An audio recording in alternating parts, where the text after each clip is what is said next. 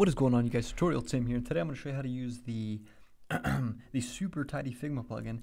Uh, pretty pretty good tool if you like to tidy up and uh, add a consistent naming convention to your layers. If you like to if you'd like that naming convention to be uh, a set of numbers, and not only that, uh, also be able to utilize the reordering. And the reordering function allows you to reorder everything you have selected and it reorders it in the layers panel and by reorder I mean it moves everything that you uh, have selected and and reordered will just move to the top of the layers panel. So uh, without any further ado let's get started. Uh, if you haven't installed this plugin the link's already in the description for you. So uh, you can click on that there or just access it via the plugins on in Figma. And uh, yeah so uh, I got this demo file here. You guys can duplicate it and use it. So when you all you got to do is uh, select the file. You will have view only access and click duplicate and then go into your your recents and uh, open it from there.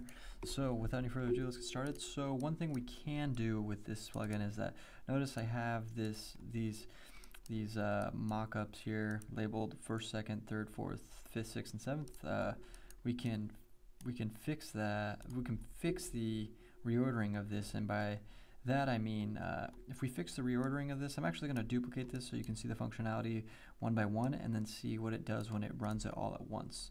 Um, I think a granular approach gives you a better understanding of how it's all built together when running at once.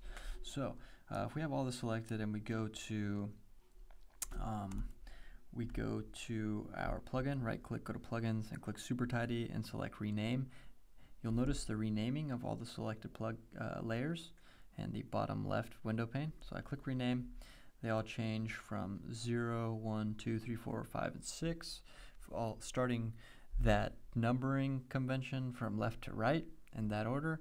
And then if we go to plugins, super tidy, and click reorder, it'll move all of these to the top and then organize the layers as well. Because if we undo, you'll see that all the numbering starts at 6, goes jumps to 1. I'm tabbing through the layers panel, and you'll notice that the ordering is not consistent. So what we did was we, to keep undoing here, we, uh, we first renamed it. First we renamed it, renamed it. Now we're going to reorder it. So it's going to move all of the layers to the top of the layers panel and have them all organized. So in my layers panel, if I hit tab, I can just tab through them in order, which is great.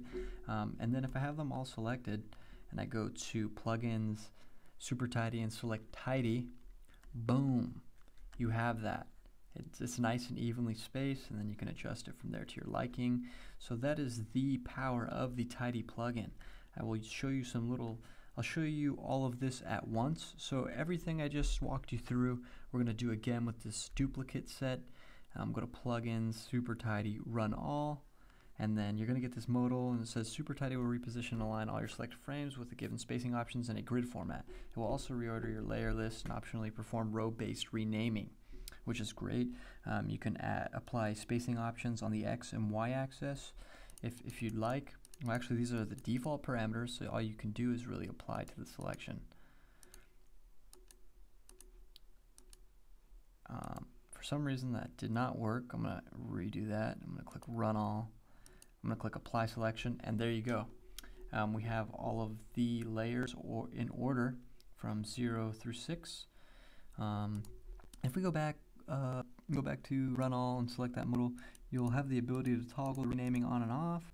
So if I go in and you can change the parameters, my plugin just froze in the previous instance, so sorry about that.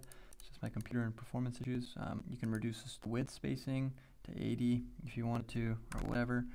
So I'm going to click apply selection and it reduced to 80. And if I go back, go to plugins and select super tidy and run all again, get that modal, I can change the y-axis as well, but that's if I had duplicates below, but I don't, so that doesn't matter. Um, and then the renaming you could turn off if you had another set of uh, another set of duplicates that you'd like to not rename, but uh, apply uh, like a width, tidy width to it, that makes sense. Alright, so we have that. I'm to undo that, keep that there for you guys. And one thing I noticed too is if you try and organize these icons, I have these icons from the Material Design Icons plugin. I have them all in a frame. And I notice when I try to select all of these icons and I go to the plugin and I try to rename them, it doesn't rename them um, within this parent, if they're within a parent frame. um, and neither does it do any of the following uh, that the plugin has to offer.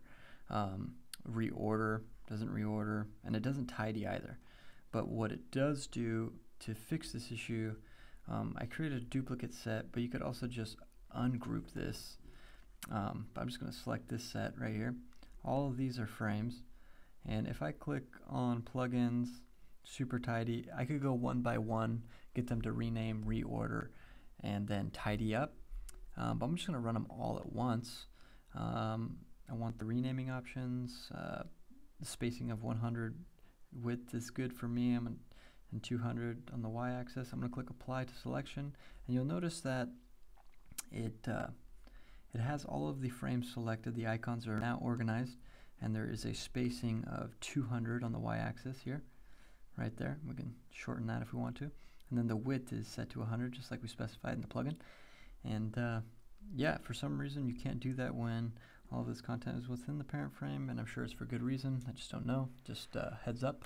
And that is how you utilize the super tidy Figma plugin. If you have any other questions, please leave a comment in the comments section below. Uh, otherwise, uh, feel free to like, comment, and subscribe, and I'll see you in the next one.